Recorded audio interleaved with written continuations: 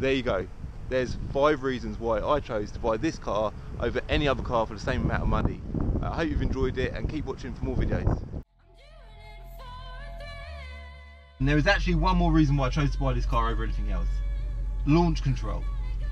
We all love a car with launch control. So you put it in dynamic mode, put it in drive, hold your foot on the brake and the accelerator at the same time, let the revs pick up and just release the brake, right? We've got traction control off as well, obviously, so here it goes.